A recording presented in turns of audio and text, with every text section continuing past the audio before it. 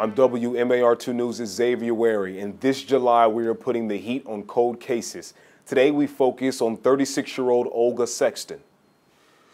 She'd only lived in the U.S. for four years. Her husband found her body in the early morning hours of December 7, 1995, just behind the front door of their townhouse. She was fully clothed, and the medical examiner said she had trauma to her upper body.